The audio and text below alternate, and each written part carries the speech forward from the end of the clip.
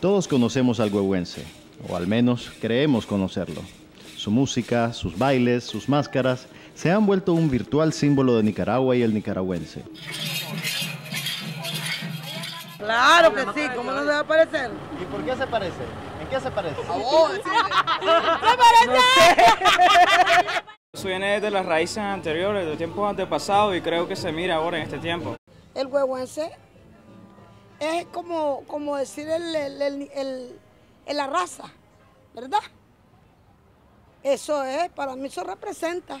Somos bandidos, somos habladores, somos este, hacemos el ridículo, de eso somos bromitas y todo eso que representa el huehuense. El nicaragüense audaz, creativo, es malhumorado, todo lo tiene el nicaragüense que lo, lo representa el huehuense. Wilmore López ha estudiado por años las manifestaciones culturales populares. El huehuense hay que decir que es una obra de teatro. Tendrá unos 300 años de estar vigente. José Martí la declaró obra maestra. Pablo Antonio Cuadra la declaró primera obra de la literatura nicaragüense. Y yo creo que hay que agregarle de Hispanoamérica. Huehuense no hay en Nicaragua. Porque no puedes pedirle eh, a, a alguien que te monte el huehuense. Desde 1940 el huehuense se dejó de presentar. El huehuense lo que está en trozos dancísticos. Pero como teatro dejó de existir. Más que un baile o un son, el huehuense es una pieza de teatro callejero producto del choque y acomodamiento entre las culturas españolas e indígenas en la América conquistada. El lingüista Carlos Mántica ha escrito sobre el origen de la obra, deduciendo que los acontecimientos relatados en la trama pudieron haber ocurrido en Masaya, alrededor del año 1635. La obra que ahora conocemos empieza a presentarse y consignarse en escritura después de 1673. Yo creo que cada uno de los nicaragüenses tenemos como un poco nuestra propia visión de qué es el huehuense o quién es el huehuense. En general, por ejemplo, pensamos que es un indio proletario, eh, desde luego opositor al régimen de turno, un viejo bandido, ¿verdad? fachento, mentiroso, que se hace el sordo eh, cuando le conviene y que siempre se sale con las suyas por su ingenio. Ni era viejo, era un viejo, de un sinvergüenza, tiene hijas, hijos en edad casadera, nada de achaques ni nada. No era proletario, sino que era de la nobleza indígena, de uno de los señores principales. Eh, tenía su propio negocio, ¿me explico? O sea, que no, no, no era así como así. Pero sí tenía unos defectos, hermano, que por favor no llegas a decir, no, le digas a nadie que el nicaragüense eh, es su ideal, el huehuense es su ideal, porque entonces sí que estamos mal. El huehuense no nos puede representar éticamente porque es un personaje que construido con los peores rasgos de un ser humano, hablando de los rasgos morales, es un tipo inescrupuloso, corrupto, eh, truán, mentiroso y si te respetas a ti mismo no puedes este, asumir que ese es, tu, ese es tu rostro. Dentro de la obra teatral hay que distinguir lo que son los machos ratones que también nosotros nos equivocamos cuando representamos el huehuense con la cara del macho ratón. Y entonces usted cree que el macho ratón es el huehuense. Ese huehuense es un viejito, coloradito, con unos bigotitos. Nada tiene que ver con el macho ratón, que es el carguero de las mercancías del huehuense.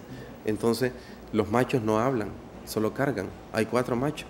El macho ratón, que se dice que es un chiquito, ratón, a las personas chiquitas le dicen ratón, el macho moíno, el macho oaxaqueño y el macho moto. Una lectura detenida de la obra revela que el pícaro idealizado es en realidad un buhonero acomodado que usa artimañas y engaños para evadir impuestos y subir en la escala social, tratando de casar a uno de sus hijos con la hija del gobernador. Pero ¿en qué momento se igualó el huehuense a la identidad del nicaragüense? El proceso ha sido paralelo al rescate de la obra, del olvido a la preeminencia en los estudios culturales. Se conoce a partir de 1942, cuando fue publicada y traducida en Granada, en de San Lucas, pero el se lo rescataron americanistas europeos. es decir, un norteamericano, Brinton, y dos alemanes, Lehmann y Berendt. Ese es un proceso que, que, viene de los años 40 hacia, en un periodo como de 30 años. Eh, creo que se funda fundamentalmente esa idea con la elaboración de Pablo Antonio Cuadra del nicaragüense, en el libro El nicaragüense, en los escritos a máquina, en los que Pablo Antonio Cuadra se está refiriendo a los nicaragüenses varones hispanohablantes de la faja del Pacífico y de los llanos de Chontales. El escritor Eric Blandón, en su libro Barroco Descalzo, se lanza a la tarea de desentrañar el mito que identifica al personaje del huehuense con el carácter del Nica. Provengo de una región culturalmente diferente a la del Pacífico y a la del norte, donde no existen fiestas de origen mestizo como las que se celebran en, el, en la faja del Pacífico, donde históricamente la, el conquistador español no logró eh, colonizar sino hasta el siglo XVIII por completo y casi al final, a finales del XVIII. De manera que, que todo eso me llevaba a preguntarme si es cierto que, que todos éramos mestizos, que todos éramos hispanohablantes, pero sobre todo si a todos podíamos, nos cifraba el huehuense, el personaje huehuense. El huehuense no tiene mucho que ver con nicas como Gloria Bacon, artista de la danza originaria de la costa atlántica. Como nicaragüense, ya no ni costeña del Atlántico ni costeña del Pacífico, realmente me da pena que el huehuense sea el personaje, el símbolo que representa el nicaragüense, ese, ese personaje traicionero, un poco confiable, no es para mí un modelo emular y, y, me da pena que nuestros literatos y nuestros intelectuales quieran que ese sea nuestro símbolo. Siempre eh, tendemos a encasillar a la gente por no profundizar y entender la identidad de las personas. La misma constitución de los nicaragüenses en diferentes etnias, múltiples lenguas, desmiente la posibilidad de que nos podamos encerrar, empotrar en, un, en, un, en una sola identidad. No existe una identidad única. Para el escritor Jorge Eduardo Arellano, las múltiples identidades coexisten con una identidad hegemónica que termina imponiéndose y el gobense tiene suficientes elementos universales como para ser accesible a todos. El gobense se representó en Bluefields y fue comprendido. Y los, la terminología y los conceptos del gobense en Matagalpa se comparten ampliamente. Entonces, eh, representa la identidad hegemónica del país, como en Costa Rica, pues la identidad hegemónica es la del Mesbeta Central. Entonces, y, el, y, el, y el Pacífico ha ejercido pues, una hegemonía en el país. Esto se asocia con la hegemonía política, económica y cultural que ha ejercido el Pacífico sobre las otras regiones del país. Entonces, como región mayoritaria desde el punto de vista de poder económico y político, invisibiliza las otras formas culturales de las otras regiones. Entonces ese es otro problema de, este, de, de, de organizar identidades fijas, porque lo que no hace lo que no calza en esa identidad queda al fuera, queda al margen. Te puedo decir, por ejemplo, lo que no es mestizo e hispanoparlante y católico deja de ser nicaragüense en esa versión. El último gran golpe del huehuense surgió en 1990, después que el FSLN perdiera las elecciones ante Violeta Barrios y la UNO. Se invocó el espíritu del gran pícaro para explicar la derrota del sandinismo. Yo colaboré un poco con doña Violeta en su campaña. Y el día del cierre de campaña íbamos bajando, desfilando por la Bolívar hacia la plaza y estaba el ejército sandinista tendido a ambos lados de, la calle.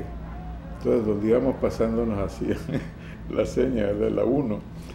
Eh, como quien dice, bueno, aquí estamos, pero la verdad es que vamos a votar por usted.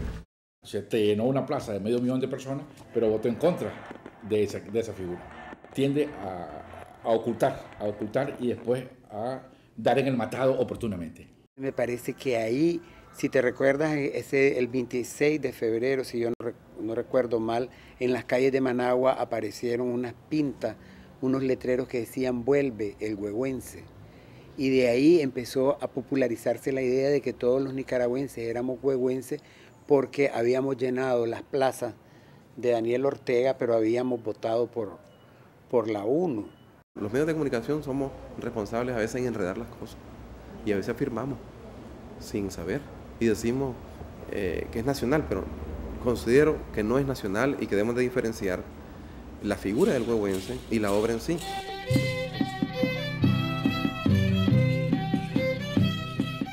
Para bien o para mal, la conexión entre el huehuense y nuestra identidad está arraigada en la creencia popular. Pero detrás de esa máscara se ocultan diferentes rostros y razas de nuestro país.